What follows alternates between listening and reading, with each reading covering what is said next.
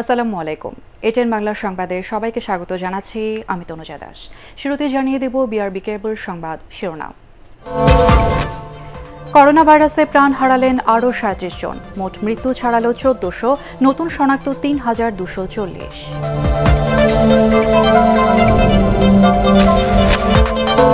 জেলায় জেলায় বাড়ছে করোনা ভাইরাস সংক্রমণ। উপসর্গ নিয়ে সারা দেশে আরও অন্তত চব্বিশ জনের মৃত্যু।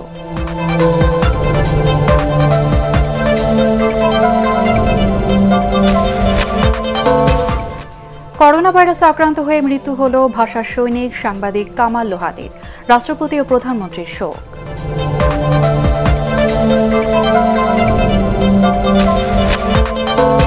করোনা মোকাবেলায় স্বাস্থ্য খাতকে সবচেয়ে বেশি প্রাধান্য দিচ্ছে সরকার, বললেন পরিকল্পনা মন্ত্রী। বরাদ্দ যথেষ্ট নয় বলছে সিপিডি।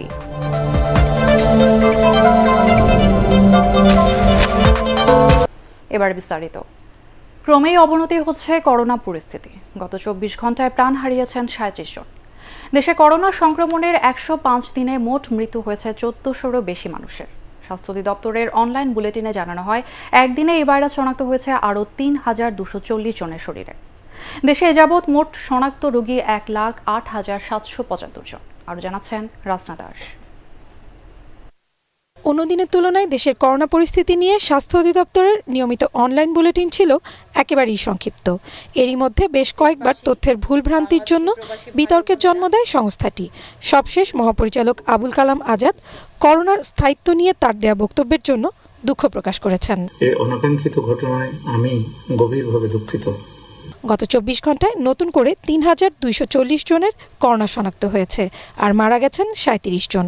মোট করোনা শনাক্ত হয়েছে এক লাখ আট হাজার সাতশো পঁচাত্তর জনের। চব্বিশ ঘন্টায় যা নমুনা পরীক্ষা হয়েছে, তাতে শনাক্ত হয়েছে তিন হাজার দুইশো চল্লিশ জন এবং এ পর্যন্ত শনাক্ত এক লাখ আট হাজার সাতশো পঁচাত্তর জন। গত চব্বিশ ঘন্টায় মৃত্যুবরণ করেছেন সাঁত্রিশ জন এবং এ পর্যন্ত মৃত্যু এক হাজার চারশো পঁচিশ জন।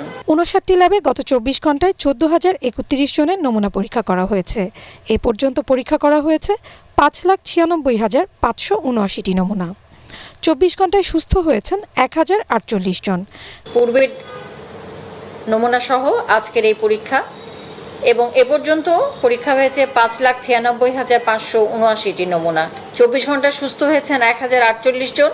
এ পর্যন্ত সুস্থ তেতাল্লিশ হাজার নয়শো তিরানব্বই জন। দেশে করোনার ঝুঁকি এড়াতে সামাজিক দূরত্ব বজায় রাখার পাশাপাশি স্বাস্থ্যবিধি মানতে সবাইকে অনুরোধ করেছেন সংস্থাটির অতিরিক্ত মহাপরিচালক। রাসনা দাস এটিএন বাংলা ঢাকা। করোনা উপসর্গ নিয়ে গত চব্বিশ ঘন্টায় সারা দেশে অন্তত চব্বিশ জনের মৃত্যু হয়েছে। এছাড়াও আক্রান্ত আরও আট জনের মৃত্যুর খবর পাওয়া গেছে। বিভিন্ন জেলায় রেড জোন চিহ্নিত এলাকায় কার্যকর হয়নি লকডাউন আশঙ্কাজনকভাবে বাড়ছে সংক্রমণ। জেলা প্রতিনিধিদের বাঁচানো ছবি ও তথ্যের ভিত্তিতে দেখুন কামরুজ্জামা রাজীবের রিপোর্ট খুলনায় হঠাৎ করে বেড়েছে করোনা ভাইরাস সংক্রমণের প্রকোপ। করোনা ডেডিকেটেড হাসপাতালে গত চব্বিশ ঘন্টায় উপসর্গ নিয়ে ছয়জন এবং করোনা আক্রান্ত একজন মারা গেছেন। নতুন আক্রান্ত হয়েছেন একশো তেত্রিশ জন। একদিনে আক্রান্ত ও মৃত্যুতে যা সর্বোচ্চ। বরিশালে গত চব্বিশ ঘন্টায় করোনা উপসর্গ নিয়ে চারজন প্রাণ হারিয়েছেন। শেরেবাংলা মেডিকেল কলেজ হাসপাতালে চিকিৎসাধীন বরিশাল জেনারেল হাসপাতালের চিকিৎসক ডাক্তার এমদাদুল্লাহ সহ মৃত্যুবরণ করেছেন চিকিৎসাধীন আরও তিনজন। এছাড়া ঝালকাঠি ও পটুয়াখালীতে করোনা আক্রান্ত দুজনের মৃত্যু হয়েছে। বরিশাল নগরীর সাতাইশটি ওয়ার্ড রেড জোন ঘোষণা করা হলেও লকডাউন কার্যকর না করায় বাড়ছে ভয়াবহতা। করোনার উপসর্গ নিয়ে কুমিল্লা মেডিকেল কলেজ হাসপাতালে চিকিৎসাধীন চারজনের মৃত্যু হয়েছে। এ নিয়ে জেলায় মৃতের সংখ্যা পঁচাত্তর জন, আক্রান্ত দু হাজার চারশো একাত্তর জন। সংক্রমণ বাড়ায় কুমিল্লা সিটি কর্পোরেশনের তিন দশ বারো তেরো নং ওয়ার্ড। তিন জুলাই পর্যন্ত লকডাউন করা হয়েছে। এদিকে করোনা উপসর্গ নিয়ে চট্টগ্রাম মেডিকেল কলেজ হাসপাতালে মারা গেছেন এক ফিলিপাইনের নাগরিক। এছাড়া মৃত্যু হয়েছে আক্রান্ত আরও তিনজনের। নতুন করে আক্রান্ত হয়েছেন একশো সাতাশি জন।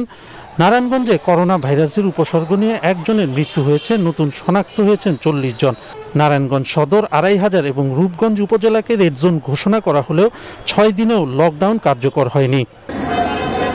লক্ষ্মীপুরে করোনা উপসর্গ নিয়ে এক নারী এবং করোনা আক্রান্ত একজন পুরুষের মৃত্যু হয়েছে। নওগাঁয় করোনার উপসর্গ নিয়ে স্বাস্থ্য পরিদর্শকের মৃত্যু হয়েছে। নোয়াখালীতে করোনা আক্রান্ত একজনের মৃত্যু হয়েছে। গত চব্বিশ ঘন্টায় পঁচিশ জন সহ জেলায় মোট আক্রান্তের সংখ্যা এক হাজার ছয়শো সাতান্ন জন। করোনা আক্রান্ত হয়ে বগুড়ায় একজন পুলিশ সদস্য সহ দুইজনের মৃত্যু হয়েছে। মৃত পুলিশ সদস্য ফয়সাল আলম বগুড়া পুলিশ ফাঁড়ির কনস্টেবল। এ নিয়ে বগুড়ায় মৃত্যুর সংখ্যা দাঁড়াল উনত্রিশ জনে।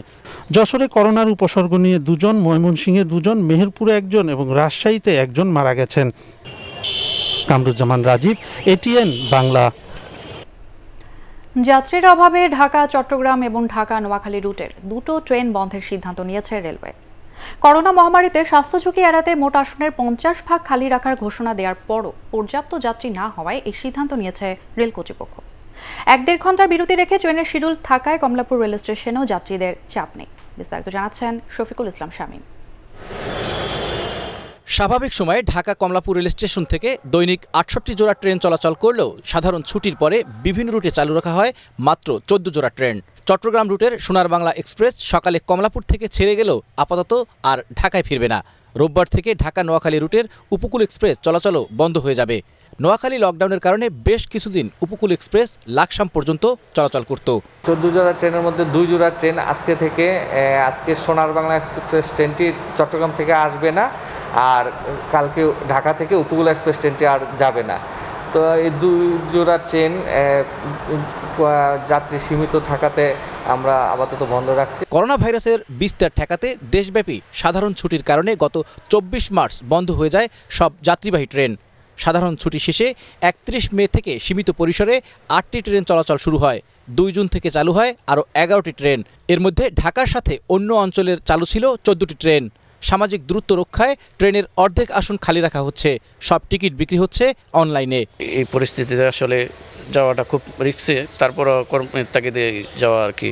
অনলাইনে টিকিট কাটতেছি। টিকিট কাটে দূরত্ব বজায় রেখে সামাজিক দূরত্ব বজায় রেখে করোনা ভাইরাসের মধ্যে খুব জরুরি অবস্থায় কারণে আমরা চলে যাচ্ছি। তবে যাত্রী বাড়লে ট্রেন দুটি আবারও চালু করা হবে বলে জানিয়েছে রেলওয়ে কর্তৃপক্ষ। সাধারণ ছুটির মধ্যেও ঢাকার বাইরে যাওয়ার যে প্রবণতা তৈরি হয়েছিল মানুষের মাঝে করোনার সংক্রমণ এবং মৃত্যুর হার বৃদ্ধি পাওয়ায় এখন মানুষ ঢাকার বাইরে একেবারেই কম যাচ্ছেন বলে ধারণা করছেন পরিবহন সংশ্লিষ্টরা। আর এর বড় প্রমাণ মাত্র চোদ্দ জোড়া ট্রেনের মধ্যে দুজোড়া ট্রেন যাত্রী সংকটের কারণে বন্ধ করতে হয়েছে রেলওয়ে কর্তৃপক্ষকে। Shafiqul Islam Shamim, ATN Bangla, Kamalapur rail station, Dhaka. Corona মোকাবেলায় স্বাস্থ্য খাতে বরাদ্দ যথেষ্ট নয় বলে মনে করে গবেষণা সংস্থা Centre for Policy Dialogue CPD. একই সাথে শিক্ষা খাতে বরাদ্দ বাড়ানোরও প্রস্তাব করেছে সংস্থাটি। ভার্চুয়াল বাজেট সংলাপে সিপিডি সরকারকে এই পরামর্শ দেয়। সংলাপে অংশ নিয়ে পরিকল্পনা মন্ত্রী এম এ মান্নান বলেছেন, সরকার শুরু থেকেই স্বাস্থ্য ও কৃষি খাতকে সবচেয়ে বেশি প্রাধান্য দিয়ে আসছে। আরও জানাচ্ছেন নিয়াজ জামান সজীব। ভার্চুয়াল এ সংলাপে সিপিডির পক্ষ থেকে বলা হয় করোনা এখনও চলমান। কিন্তু প্রস্তাবিত বাজেটে তা প্রতিরোধ এবং করোনা পরবর্তী সময়ে করণীয় নিয়ে যথাযথ কোনো পদক্ষেপের কথা বলা হয়নি। বাজেট পাশের আগে স্বাস্থ্য খাতের এই বিষয়গুলো বিবেচনার প্রস্তাব দেয় সংস্থাটি। স্বাস্থ্য খাতকে অগ্রাধিকার দিচ্ছি আমরা নতুন যেসব সমস্যা হচ্ছে সেগুলিকে অগ্রাধিকার দিচ্ছি। সেখানে কিন্তু এই এই একুশ হাজার কোটি টাকা ভার্সেস সাতাশ হাজার নয়শো কোটি টাকার এই তুলনামূলক বিচার করলে কিন্তু বোঝা যায় যে অগ্রাধিকারটা কিন্তু সেইভাবে যেটা আসা উচিত ছিল সেটা কিন্তু আসেনি। সুতরাং আমরা এটা আরেকবার রিভিজিট করার জন্য আমরা বলব স্বাস্থ্য খাতে H N P F W সবচেয়ে বড় প্রজেক্ট সেখানে অ্যালোকেশন খুব বাড়ানো হয় নাই আগের মতোই আছে। সংলাপে অংশ নিয়ে পরিকল্পনা মন্ত্রী এম এ মান্নান বলেন সব দিক বিবেচনা করেই বাজেট চূড়ান্ত করা হবে। প্রোগ্রেসিভ একটা কল্যাণ ওরিয়েন্টেড ডেমোক্রেটিক পলিটি যেখানে সকল মানুষ, সকল ধর্মের মতের সিকুলার ভাবে বসবাস করতে পারবে, কাজ করতে পারবে, সেই কাজের জন্য আমাদের রিফর্ম আমাদের মধ্যে দরকার, সরকারের দরকার। এগুলো সম্বন্ধে we are aware at this moment হয়তো কোভিড এর জন্য আপনারা এটা দেখছেন না বা রিফর্মের কাজ চলছে আরও চলবে আগামীতে, আমি আমি আপনাদেরকে আশ্বস্ত সংলাপে সিপিডি আরও বলেছে, দশ শতাংশ হারে কর দিয়ে বিনা প্রশ্নে কালো টাকা, সাদা করার সুবিধা দেওয়া নৈতিক, অর্থনৈতিক এবং রাজনৈতিক কোনোভাবেই কাম্য নয়। নিয়াজ জামান সজীব, এটিএন বাংলা, ঢাকা। করোনা মহামারীর কারণে কর্মহীন হয়ে দেশে ফেরা প্রবাসী শ্রমিকদের কর্মসংস্থানের অন্যতম খাত হতে পারে পোলট্রি ও ডেয়ারি শিল্প। তাই এবারের বাজেটে কৃষি খাতে বরাদ্দ বাড়ানোর পাশাপাশি বাস্তবায়নের দিকে নজর দেওয়া জরুরি বলে মনে করছেন কৃষি বিশেষজ্ঞরা। বাজেটে কৃষি খাত নিয়ে কৃষিবিদ ইনস্টিটিউশনের ভার্চুয়াল আলোচনায় তারা এসব কথা বলেন। আরও জানাচ্ছেন উপস্থাপন করব বাজেটে কৃষিখাত বিষয়ক ভার্চুয়াল আলোচনায় বক্তারা বলেন করোনাকালে বিভিন্ন দেশে কৃষি উৎপাদন কমলেও বাংলাদেশ তার ব্যতিক্রম। বিশ্বব্যাপী সম্ভাব্য খাদ্য সংকট মোকাবেলা ও নতুন কর্মসংস্থান তৈরিতে কৃষি খাতকে আরও গুরুত্ব দিতে হবে। এবারের বাজেটে কৃষি খাতে বরাদ্দ কিছুটা বাড়লেও তা যথেষ্ট নয় বলে মনে করেন আলোচকরা। যারা এখন পর্যন্ত চাকরিতে আছে সেটা প্রাইভেট সেক্টরে আছে। তারা কর্মহীন হবে। বিদেশ থেকে অনেকে কর্মহীন হয়ে দেশে ফিরবে। এদেরকে কর্মোপযোগী করে তোলার জন্য সবচেয়ে ইম্পর্টেন্ট খাত হচ্ছে আমাদের দেশের সেক্টর এবং ডেয়ারি সেক্টর খাদ্য নিরাপত্তা রক্ষার জন্য আমাদের যে বড় ধরনের একটা উল্লঙ্ঘন দরকার কৃষির বরাদ্দের ক্ষেত্রে এবং কৃষির প্রবৃদ্ধির ক্ষেত্রে। তার জন্য যে পরিমাণ সহায়তা দরকার সেটা হয়তো এমন ভাবে রিফ্লেক্ট হয় ইনস্টিটিউশনাল ক্যাপাসিটি দরকার জনবল বৃদ্ধি করার দরকার সেই সব না হলে কিন্তু যতই বাজেট বাড়ান এই বাজেটের ইফিসিয়েন্সি বাড়বে না। তারা বলেন মূল্যস্ফীতি বাড়লেও গত আট বছর ধরে কৃষি খাতে ভর্তুকির পরিমাণ নয় হাজার কোটি টাকায় আটকে আছে। এছাড়া এ ভর্তুকি প্রকৃত কৃষকের কাছে ঠিকমতো পৌঁছায় না।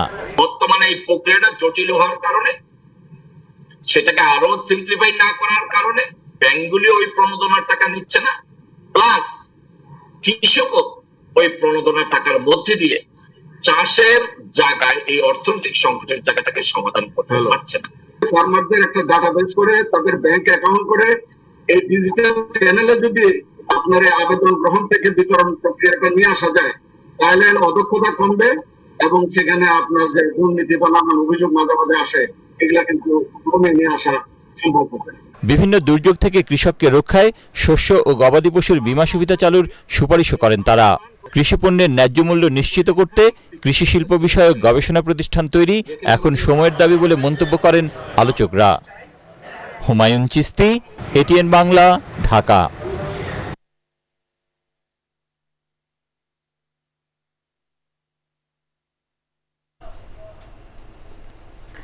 দেশের করোনা পরিস্থিতি নিয়ে স্বাস্থ্য অধিদপ্তরের মহাপরিচালকের বক্তব্য জনমনে নতুন করে আতঙ্ক ছড়িয়েছে বলে মন্তব্য করেছেন বিএনপির সিনিয়র যুগ্ম মহাসচিব রুহুল কবির রিজভী নয়াপল্টন কেন্দ্রীয় কার্যালয় থেকে পাঠানো ভিডিও বার্তায় তিনি বলেন, ব্যর্থতার দায় নিয়ে মহাপরিচালকের দায়িত্ব থেকে সরে যাওয়া উচিত। সংগ্রহ, পরীক্ষার যে দৈন্য দশা দেখা যাচ্ছে সেদিকে ডিজি সাহেবের ভ্রুক্ষেপ নেই অথচ জনগণকে করোনা নিয়ে আরও ভয়ঙ্কর ভীতির মধ্যে ঠেলে দিচ্ছেন। দুর্নীতিবাদদের বদলে রক্ষার চেষ্টায় অনিয়ম বাড়ছে। দুর্নীতিবাদরা যেন দুর্নীতির উল্লাসে করছে এবং এই করোনাকালে দুর্নীতির চলছে বিভিন্ন সেক্টরে। প্রধানমন্ত্রী শেখ হাসিনার মতো আলেম ওলামাদের জন্য কেউ ভাবেন না বলে মন্তব্য করেছেন তথ্যমন্ত্রী ডক্টর হাসান মাহমুদ। রাজধানীর মিন্টু রোডের সরকারি বাসভবন থেকে ভিডিও কনফারেন্সে তার নির্বাচনী এলাকা চট্টগ্রামের রাঙ্গুনিয়ায় পাঁচ শতাধিক মসজিদের ইমাম ওলামাদের জন্য প্রধানমন্ত্রীর বিশেষ উপহার বিতরণ অনুষ্ঠানে তিনি কথা বলেন। মাননীয় প্রধানমন্ত্রী, বঙ্গবন্ধু কন্যা জননেত্রী শেখ হাসিনা। তিনি এই করোনা ভাইরাসের প্রাদুর্ভাব দেখা দেওয়ার পর বাংলাদেশের সব পর্যায়ের মানুষের সুবিধা অসুবিধার কথা চিন্তা করে। তিনি এক লক্ষ হাজার কোটি টাকার বেশি প্রণোদনা, আর্থিক প্রণোদনা ঘোষণা করেছেন। উজানের ভারী বৃষ্টি ও পাহাড়ি ঢলে নীলফামারী, লালমনিরহাট ও সিরাজগঞ্জে নদ নদীর পানি বৃদ্ধি পেয়ে প্লাবিত হয়েছে বিভিন্ন এলাকা। নীলফামারীতে বিপদসীমার উপরে উঠেছে তিস্তার পানি। স্থানীয় বন্যা পূর্বাভাস ও সতর্কীকরণ কেন্দ্র জানায়, সকাল ছটায় জালিয়া পয়েন্টে বিপদসীমার প্রায় বিশ সেন্টিমিটার উপর দিয়ে প্রবাহিত হয় নদীর পানি। দুপুরে তা কমে আসে। পানি বৃদ্ধির ফলে ব্যারেজের সবকটি গেট খুলে দিয়েছে পানি উন্নয়ন বোর্ড। এদিকে তিস্তার পানি বেড়ে যাওয়ায় লালমনিরহাটে তিনটি উপজেলার নিম্নাঞ্চল প্লাবিত হয়ে ক্ষতি হয়েছে বাদাম ভুট্টা ও সবজি আবাদের ডুবে গেছে রোপা আমনের বীজতলা। এর মধ্যে আদিতমারির মহিষখোচাক সদরের কুনিয়াগাছ গোকুন্ডা ও হাতিবান্ধা উপজেলার গন্ডিমারি ইউনিয়নের নদী তীরবর্তী এলাকায় ক্ষতি হয়েছে বেশি। সিরাজগঞ্জেও যমুনা নদীর পানি বৃদ্ধি অব্যাহত রয়েছে। দ্রুত গতিতে পানি বাড়ায় বন্যার আশঙ্কা করছেন বিশেষজ্ঞরা। সিরাজগঞ্জ পানি উন্নয়ন বোর্ডের উপবিভাগীয় প্রকৌশলী এ কে এম রফিকুল ইসলাম জানান, পানি বাড়ায় চরাঞ্চলের ফসলি জমিগুলো তলিয়ে গেছে, নষ্ট হয়ে গেছে সবজি সহ বিভিন্ন ফসল। প্লাবিত হয়েছে জেলার পাঁচটি উপজেলার প্রায় বিশটি ইউনিয়নের নিম্নাঞ্চল।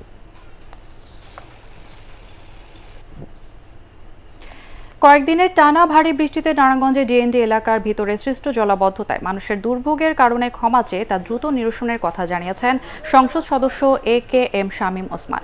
DND এলাকার কদমতলিতে সেনাবাহিনীর তত্ত্বাবধানে পানি নিষ্কাশনের জন্য স্থাপিত পাম্প উদ্বোধন করার সময় তিনি কথা জানান। ডিএনডি উন্নয়ন প্রকল্পের জন্য প্রয়োজনীয় অর্থ বরাদ্দ পাওয়া গেলে প্রায় বিশ লাখ মানুষ স্থায়ীভাবে জলাবদ্ধতা থেকে রেহাই পাবেন বলেও আশা প্রকাশ করেন শামীম ওসমান। খুলনার চিকিৎসক রকিব খান হত্যা মামলার প্রধান আসামি। জমির আলী শেখ সহ দুজন আদালতে একশো চৌষট্টি ধারায় জবানবন্দি দিয়েছেন। এই মামলায় অপর তিন আসামিকে জিজ্ঞাসাবাদের জন্য রিমান্ডে নিয়েছে পুলিশ। তাদের থানায় জিজ্ঞাসাবাদ করা হচ্ছে। রোগীর মৃত্যু ঘটনাকে কেন্দ্র করে গত পনেরো জুন রাতে ডাক্তার রকিব উদ্দিন খানের উপর হামলা চালায় দুর্বৃত্তরা। পরে চিকিৎসাধীন অবস্থায় তার মৃত্যু হয়। এই ঘটনায় নিহত চিকিৎসকের ভাইয়ের দায়ের করা মামলায় পাঁচজনকে গ্রেফতার করে পুলিশ। এবারে আল ইসলামী ব্যাংক অর্থ সংবাদ।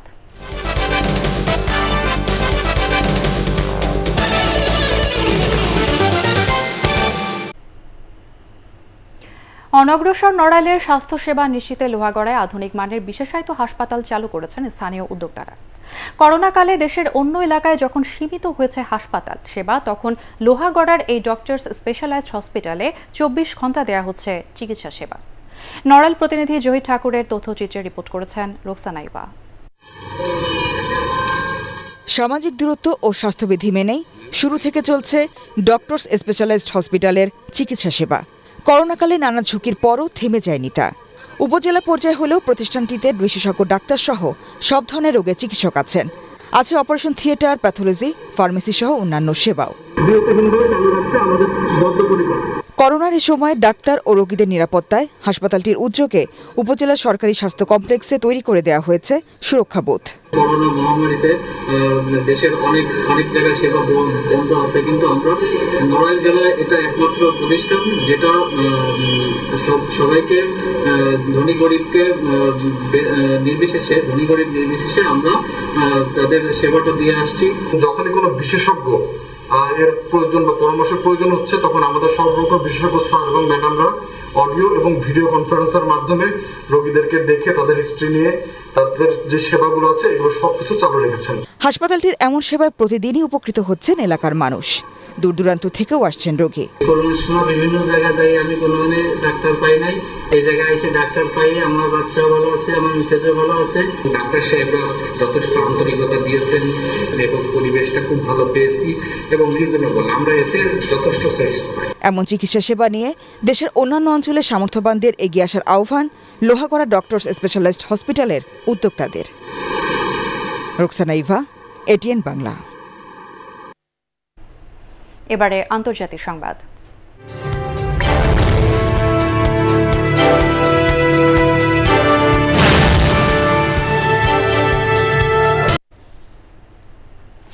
করোনা মহামারী বিশ্বজুড়ে এবার বিপজ্জনক ধাপে পৌঁছেছে বলে হুঁশিয়ারি দিয়েছে বিশ্ব স্বাস্থ্য সংস্থা ডব্লিউএইচও। করোনার ব্যাপক বিস্তার থামাতে লকডাউনের বিকল্প নেই বলেও জানায় সংস্থাটি।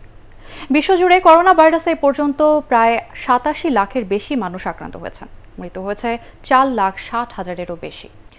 করোনার বিস্তার রোধে তিন মাস বন্ধের পর আবারও খুলছে পবিত্র নগরী মক্কার মসজিদগুলো। নগরী দেড় হাজারের বেশি মসজিদে রোববার ফজর থেকে নামাজ আদায় করতে পারবেন মুসল্লিরা। করোনা ভাইরাসের প্রভাবে প্রাথমিক শিক্ষার ক্ষতি পুষিয়ে নিতে সরকার স্বল্প, মধ্য ও দীর্ঘমেয়াদী পরিকল্পনা বাস্তবায়ন করবে বলে জানিয়েছেন প্রাথমিক ও গণশিক্ষা প্রতিমন্ত্রী মোহাম্মদ জাকির হোসেন। বেসরকারি সংস্থা ব্র্যাক আয়োজিত বাংলাদেশের শিক্ষার উপর কোভিড উনিশের প্রভাব শীর্ষক ভার্চুয়াল আলোচনায় তিনি বলেন, শিক্ষকদের গণিতের উপর বিষয়ভিত্তিক প্রশিক্ষণ কার্যক্রম হাতে নেওয়া হয়েছে। এছাড়া জুলাই মাস থেকে ই লার্নিং কোর্স চালু করারও পরিকল্পনা রয়েছে মন্ত্রণালয়ের। প্রধানমন্ত্রী ও আওয়ামী লীগ সভাপতি শেখ হাসিনার নির্দেশনায় বৃক্ষরোপণ কর্মসূচি শুরু করেছে ঢাকা মহানগর উত্তর আওয়ামী লীগ। রাজধানী মিরপুরের কালশি এলাকায় থানা ওয়ার্ড পর্যায়ের নেতাদের হাতে বিভিন্ন ধরনের গাছের চারা তুলে দেওয়ার মধ্য দিয়ে এই কর্মসূচি শুরু হয়। গাছের চারা রোপণ করে মাসব্যাপী এই কর্মসূচির উদ্বোধন করেন ঢাকা মহানগর উত্তর আওয়ামী লীগ সভাপতি শেখ বজলুর রহমান ও সাধারণ সম্পাদক এস এম মান্নান কোচি। বর্তমানে এই মহামারীর পরিস্থিতিতে দাঁড়াবেন, আমাদের আজকের যে অতিথি এবারে পাটেক্স খেলার খবর।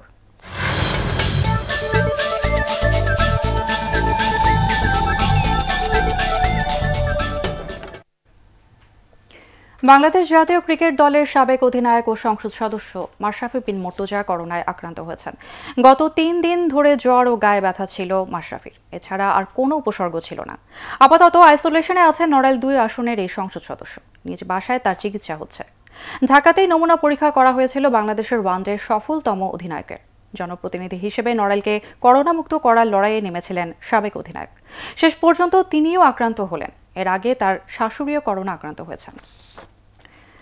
লা লিগায় বার্সেলোনার সাথে গোল শূন্য ড্র করে পয়েন্ট টেবিল জমিয়ে তুলেছে সেভিয়া। শুক্রবারের ম্যাচে ঘরের মাঠে বার্সেলোনাকে বেশ ভুগিয়েছে স্বাগতিকরা। সেভিয়ার আক্রমণের সামনে গোলরক্ষক মার্কটের দেয়াল হয়ে দাঁড়ানোয় পরাজয় এড়াতে পেরেছে লিওনেল মেসির দল। শেষ দিকে কাতালান স্ট্রাইকার সহজ সুযোগ নষ্ট করায় হতাশা নিয়েই মাঠ ছাড়তে হয় বার্সেলোনাকে। এই ড্রয় ত্রিশ ম্যাচে বার্সার পয়েন্ট পঁয়ষট্টি আর এক ম্যাচ কম খেলে রিয়ালের পয়েন্ট বাষট্টি। তিন নম্বরে থাকা সেভিয়ার পয়েন্ট বাউান্ন।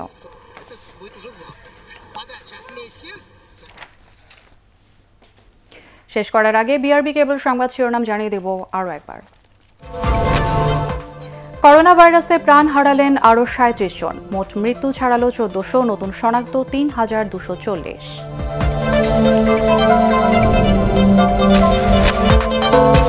জেলায় জেলায় বাড়ছে করোনা ভাইরাস সংক্রমণ। উপসর্গ নিয়ে সারা দেশে আরও অন্তত চব্বিশ জনের মৃত্যু।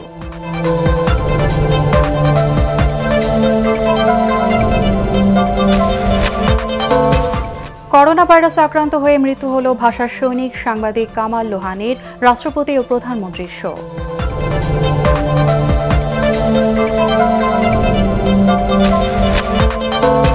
করোনা মোকাবেলায় স্বাস্থ্য খাতকে সবচেয়ে বেশি প্রাধান্য দিচ্ছে সরকার, বললেন পরিকল্পনা মন্ত্রী। বরাদ্দ যথেষ্ট নয়, বলছে সিপিডি।